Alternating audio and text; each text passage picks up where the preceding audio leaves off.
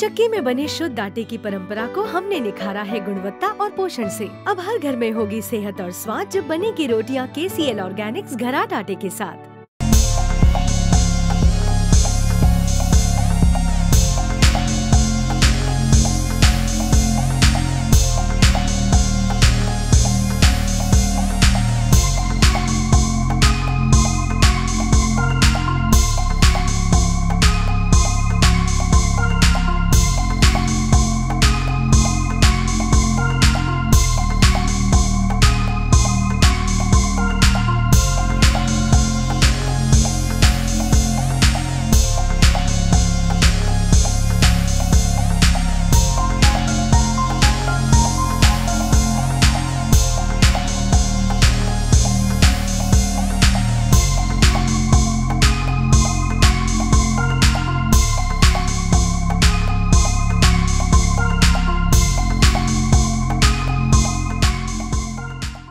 SHO ਸਾਹਿਬ ਗੁਰਦੀਪ ਜੀ MM news Mansa ਤੋਂ ਮੀਰਪੁਰੀਆ ਗੱਲ ਕਰ ਰਹੇ ਹਾਂ ਸਰ?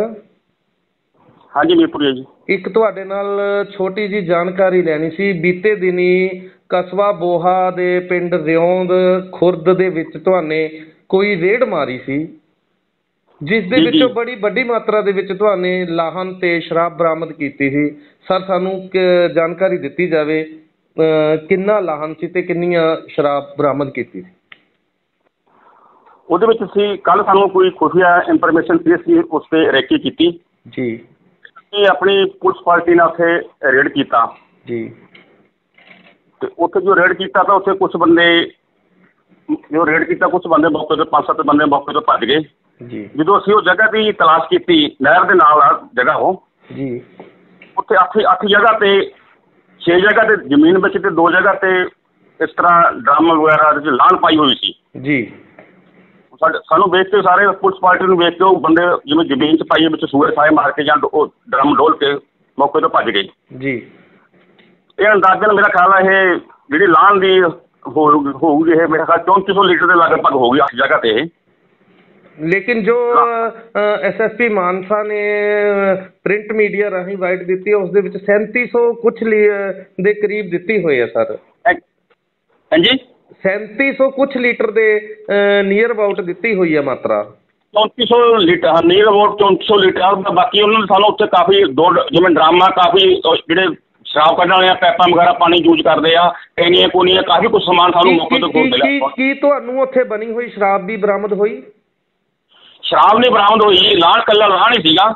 ਜੀ। ਜਾਂ ਇਹਨਾਂ ਦੇ ਡਰਮ ਡਰੋਮਾ ਜਾਂ ਜਿਹੜੇ ਪਾਣੀ ਪੂਣੀ ਯੂਜ਼ ਕਰਦੇ ਪੈਪਾਂ ਪੂਪਾਂ ਨਾਲ ਲਾਈਆਂ ਪਾਣੀ ਉਸ ਤਰ੍ਹਾਂ ਕਰਦੇ ਆ ਪੀਪੇ ਪੂਪੇ ਜਾਂ ਕੈਨੀਆਂ ਖਾਲੀ ਕੈਨੀਆਂ ਸ਼ਰਾਬ ਵਾਲੀਆਂ ਉਹ ਮਿਲੀਆਂ ਸਾਨੂੰ ਉੱਥੋਂ। ਜਨ ਕੇ ਪੂਰੀ ਚਾਲੂ ਭੱਠੀਆਂ ਦਾ ਸਮਾਨ ਮਿਲਿਆ ਤੁਹਾਨੂੰ? ਆਪਾਂ ਚਾਲੂ ਪੱਠੀਆਂ ਦੇ ਜਿਵੇਂ ਉੱਥੇ ਨਿਸ਼ਾਨ ਉਹ ਪੱਠੀਆਂ ਨਹੀਂ ਮਿਲੀਆਂ ਪਰ ਉਹ ਲੱਗਣ ਦੇ ਨਿਸ਼ਾਨ ਹੈਗੇ ਉੱਥੇ। ਜੀ। ਉਹ ਹੈਗੇ ਸੀ। ਜੀ। ਲੱਗੀਆਂ ਨਹੀਂ ਮਿਲੀਆਂ। ਹੂੰ। ਬਾਕੀ ਅਸੀਂ ਇਹਨਾਂ ਦੇ ਜਿਹੜੇ ਬੰਦੇ ਆ ਇਹਨਾਂ ਦੀ ਸ਼ਨਾਖਤ ਕਰਕੇ ਜਲਦੀ ਇਹਨਾਂ ਨੂੰ ਗ੍ਰਿਫਤਾਰ ਕਰਾਂਗੇ। ਮੌਕੇ ਤੇ ਸਭ ਫਰਾਰ ਹੋ ਗਏ। ਮੌਜੂਦਾ ਸਮੇਂ ਕੋਈ ਵੀ ਗ੍ਰਿਫਤਾਰੀ ਨਹੀਂ ਹੋ ਸਕੀ।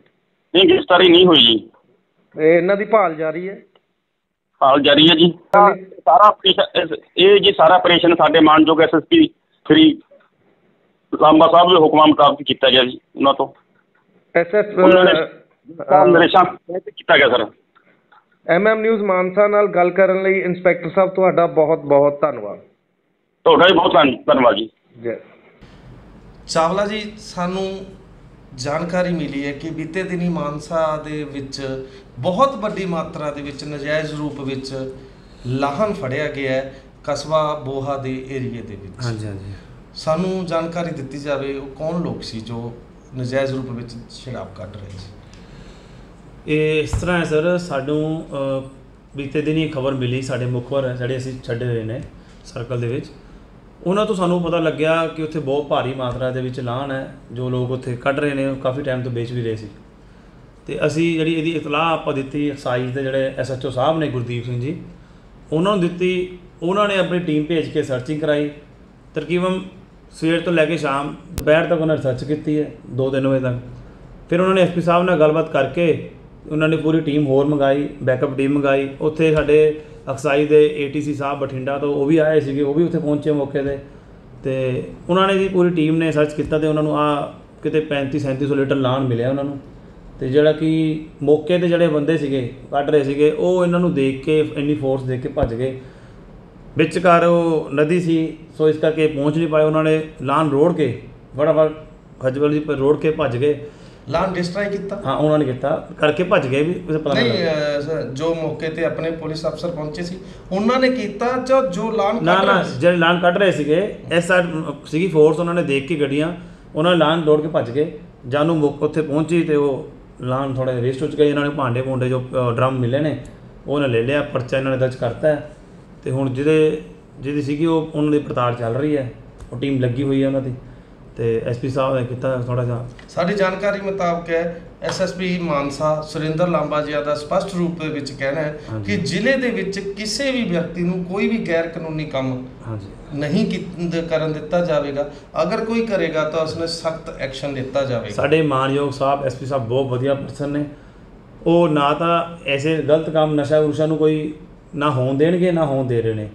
ਸਾਨੂੰ ਅਸੀਂ ਸਾਨੂੰ ਜਾਣਦੇ ਹਾਂ ਸਾਡੇ ਪਿਛਲੇ ਸਾਲ ਬਹੁਤ ਉਹਨਾਂ ਨੇ ਐਕਟ ਸ਼ਰਾਬ ਦੇ ਐਕਟ ਵੀ, ਨਸ਼ੇ ਐਕਟ ਵੀ ਉਹਨਾਂ ਨੇ ਬਹੁਤ ਬੰਦੇ ਫੜੇ ਨੇ। ਬਹੁ- ਹਰ ਪੂਰੇ ਜ਼ਿਲ੍ਹੇ ਦੇਖ ਲਓ, ਪੂਰੇ ਥਾਣੇ 'ਚ ਇਸ ਸਾਲ ਬਹੁਤ ਵੱਧ ਪਰਚੇ ਨੇ। ਤੁਸੀਂ ਇਤਿਹਾਸ ਦੇਖ ਲਓ, ਪਹਿਲਾਂ ਪਰਚੇ ਘੱਟ ਹੈ ਪੂਰੇ ਜ਼ਿਲ੍ਹੇ 'ਚ। ਲੇਕਿਨ ਜਦ ਦੇ ਐਸਪੀ ਸਾਹਿਬ ਆਏ ਨੇ, ਬਹੁਤ ਹੀ ਵਧੀਆ, ਇਮਾਨਦਾਰ ਹੋਨਸ ਪਰਸਨ ਨੇ, ਮਿਹਨਤੀ ਪਰਸਨ ਨੇ। ਤੇ ਉਹਨਾਂ ਨੇ ਜਿਹੜੀ ਆ ਮੁਹਿੰਮ ਚਲਾਈ ਹੈ ਨਸ਼ੇ ਦੇ ਵਿਰੁੱਧ, ਬਹੁਤ ਜਿੰਨਾ ਜ਼ਿਆਦਾ ਰੇਡਾਂ ਕੀਤੀਆਂ ਇਹਨਾਂ ਨੇ ਜ਼ਿਲ੍ਹੇ ਦੇ ਵਿੱਚ ਪੂਰੇ। ਹਰ ਥਾਣੇ ਦੇ ਜ਼ਿਲ੍ਹੇ 'ਚ ਘੱਟੋ ਘੱਟ ਹੀ 50 50 ਪਰਚੇ ਨੇ ਦੀਪਕ ਜੀ ਮਹੀਨੇ। ਸਾਨੂੰ ਦੱਸਿਆ ਜਾਵੇ ਕਿ ਤੁਸੀਂ ਕਿਹਾ 35 3700 ਲੀਟਰ। ਇੰਨੀ ਵੱਡੀ ਮਾਤਰਾ ਦੇ ਵਿੱਚ ਹਾਂਜੀ। ਜੋ ਲਾਹਨ ਹੈ ਉਸ ਤੋਂ ਤਕਰੀਬਨ ਕਿੰਨੀ ਸ਼ਰਾਬ ਬਣ ਸਕਦੀ ਸੀ ਉਦੋਂ ਤੁਸੀਂ ਹਿਸਾਬ ਲਾ ਲਓ ਜੀ ਘੱਟੋ ਘੱਟ 2 ਲੀਟਰ ਲਾਨ ਦੇ ਵਿੱਚ ਅਹ, ਆਪਣਾ 200 ਲੀਟਰ ਲਾਨ ਦੇ ਵਿੱਚੋਂ 150 ਬੋਤਲਾਂ ਬਣਦੀਆਂ ਹੁਣ ਆਪਾਂ ਹਿਸਾਬ ਤਕਰੀਬਨ ਲਾਈ ਫਿਰ ਤੁਹਾਡੇ ਹਿਸਾਬ ਨਾਲ ਤਾਂ 27 2800 ਹਾਂਜੀ। ਬੋਟਲ ਬਣਦੀ ਹਾਂਜੀ ਇੰਨੀ ਬਣਦੀ ਸੀ 27 2800 ਬੋਟਲ। 27 2800 ਲਾ ਲਓ 3000 ਬੋਤਲ ਲਾ ਲਓ ਇੰਨੀ ਬਣਦੀ ਹੈ। ਜੋ ਕਿ ਪਹਿਲਾਂ ਵੀ ਕਰਦੇ ਆ ਰਹੇ ਨੇ। ਉਹ ਨਜਾਇਜ਼ ਰੂਪ ਦੇ ਵਿੱਚ ਸ਼ਹਿਰ ਚ ਵਿਕ ਰਹੀ ਹੈ ਔਰ ਆ ਵੀ ਰਹੀ ਹੈ। ਹੋਰ ਸਾਡੀ ਟੀਮ ਐਸਪੀ ਸਾਹਿਬ ਨੇ ਪੂਰੀ ਉੱਥੇ ਬੈਕਅਪ ਟੀਮ ਭੇਜੀ ਹੈ ਬੋਹਾ ਟੀਮ ਵੀ ਭੇਜੀ ਹੈ। ਐਸਪੀ ਸਾਹਿਬ ਦੇ ਆਰਡਰ ਹੋਏ ਨੇ। ਐਸਓ ਸਾਹਿਬ ਨੂੰ ਵੀ ਤੁਸੀਂ ਸਰਚ ਕਰੋ। ਉੱਥੇ ਹਾਲੇ ਵੀ ਜੋ ਸਾਨੂੰ ਇਨਫੋਰਮੇਸ਼ਨ ਆਈ ਹੈ ਬਹੁਤ ਕਾਫੀ ਵੱਡੀ ਮਾਤਰਾ ਦੇ ਵਿੱਚ ਹਾਲੇ ਵੀ ਲਾਣ ਹੈਗਾ ਜੋ ਸਰਚਿੰਗ ਚੱਲ ਰਹੀ ਹੈ। ਉਹ ਟੀਮਾਂ ਲੱਗੀਆਂ ਹੋਈਆਂ। ਉਹ ਵੀ ਜਲਦੀ ਅੱਜ ਕੱਲ੍ਹ ਦੇ ਨਿਊਜ਼ ਉਹ ਵੀ ਹੈ, ਜਲਦੀ ਆ ਜਾਏ ਤੁਹਾਡੇ ਸਾਹਮਣੇ। ਬਹੁਤ ਭਾਰੀ ਮਾਤਰਾ ਵਿੱਚ ਬਲੈਕ ਹੋ ਰਹੀ ਹੈ। ਇਹ ਗੰਦੀ दारू ਹੈ ਜੀ, ਬਹੁਤ ਗੰਦਾ ਤਰੀਕੇ ਨਾਲ ਬਣੀ ਹੈ। ਇਹਨੂੰ ਪੀ ਕੇ ਕਾਫੀ ਲੋਕ ਮਰ ਰਹੇ ਨੇ। ਉਸ ਚੀਜ਼ ਸਾਡੇ ਐਸਪੀ ਸਾਹਿਬ ਵੀ ਕਰ ਰਹੇ ਆ ਮੇਨ ਸਾਡੇ ਐਸਓ ਸਾਹਿਬ ਵੀ ਕਰ ਰਹੇ ਆ, ਸਾਡੀ ਟੀਮਾਂ ਵੀ ਕਰ ਰਹੀਆਂ, ਜੋ ਕਿ ਬਚੇ। ਬਾਕੀ ਹੁਣ ਤੁਸੀਂ ਇਹ ਦੇਖ ਲਓ, ਹੁਣ ਲੋਕਡਾਊਨ ਚੱਲ ਰਿਹਾ ਹੈ। ਸਾਡੇ ਠੇਕੇ ਬੰਦ ਨੇ, ਪਰ ਇਹ ਜਿਹੜੀ ਬਲੈਕ ਹੈ, ਇਹ ਵੱਧ ਹੋ ਰਹੀ ਹੈ। ਇਸੇ ਕਰਕੇ ਹੋ ਰਹੀ ਹੈ। ਲਾਣ ਵੀ ਚੱਲੂਗੀ ਘਰਾਂ ਘਰਾਂ 'ਚ ਬਲੈਕ ਵੀ ਵਿਕੂਗੀ ਹਰਿਆਣੇ ਦੀ ਪੇਟੀਆਂ ਵੀ ਆਣਗੀਆਂ ਉਹ ਐਸਪੀ ਸਾਹਿਬ ਨੇ ਪੂਰੀ ਟੀਮ ਨੂੰ ਸਟਰੋਂਗ ਕੀਤਾ ਹੋਇਆ ਉਹਨਾਂ ਨੇ ਪੂਰਾ ਕਿਹਾ ਸਖਤ ਆਰਡਰ ਦਿੱਤੇ ਨੇ ਵੀ ਕੋਈ ਇੱਥੇ ਬਾਹਰਲੀ ਦਾਰੂ ਜਾਂ ਲਾਣ ਨਹੀਂ ਆਉਣੀ ਚਾਹੀਦੀ ਐਮਐਮ ਨਿਊਜ਼ ਮਾਨਸਾ ਨੂੰ ਜਾਣਕਾਰੀ ਦੇਣ ਲਈ ਦੀਪਕ ਚਾਵਲਾ ਜੀ ਤੁਹਾਡਾ ਬਹੁਤ ਬਹੁਤ ਧੰਨਵਾਦ अब पाएं गर्मी से राहत और सेहत का साथ केसीएल ऑर्गेनिक्स घराट की शुद्धता से बने और पोषण से भरपूर सोया जौ और चने के सत्तू के साथ केसीएल ऑर्गेनिक्स